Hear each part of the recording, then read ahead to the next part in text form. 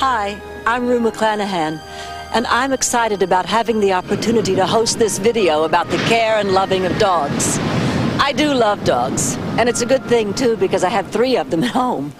Dogs, unfortunately, can't speak to us, but they do have a language all their own.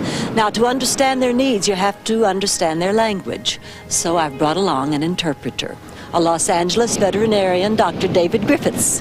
In fact, he's at my house now. I think you'll find him extremely informative, utterly British, and devilishly charming. Thank you, Rue. I'm flattered. Well, it's just one of my pet peeves. Oh, that's a pun. Pet peeves, aren't you cute? I don't, I don't think a child under the age of four or five knows exactly what to make of a dog. Well, at least when they're playing with these, you know they're not playing with things they shouldn't play with. But females often demand more attention. The important thing with shampoos is basically to read the directions.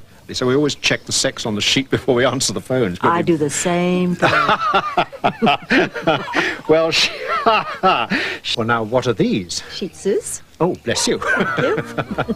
well, I hope I've given you some idea of what's involved in a grooming session. Terriers uh, got a lot of spunk in them, you know. Yeah. The chief thing to remember is make it fun. All right? David, I'm sorry to say it's time for goodbyes. We couldn't have done this without you. And I want to thank you for all your help and all the dedication that you bring to your work. It's been a pleasure. I've really enjoyed myself, and I think you've done a marvelous job in presenting this video. Well, we're both marvelous people, aren't we, darling?